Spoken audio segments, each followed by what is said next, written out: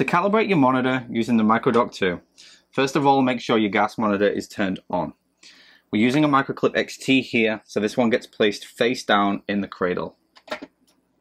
Once it's in, close the cradle door and simply press the button marked calibration. The calibration is going to start. It takes about two minutes. There's some lights on the docking system here that say pass or fail. It's a pass or fail test, so we'll see in two minutes if it works. Now the dock has finished performing the calibration, you can see from all the check marks next to all the items that the unit's checked that they've all passed and the unit does say that it's passed calibration. It's currently going through its purge process which gets rid of all the gas from inside the system.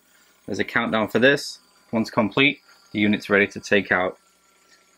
If in the event that a unit failed calibration, there would be an X where you see check marks there notifying you as to why the unit failed.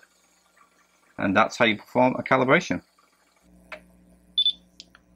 Press OK to acknowledge the cal. As we can see, we now have a pass light on the MicroDock 2, which means the unit's passed, calibrated and ready to use. If you have any questions, please give us a call or visit us at pksafety.com. Thank you for watching.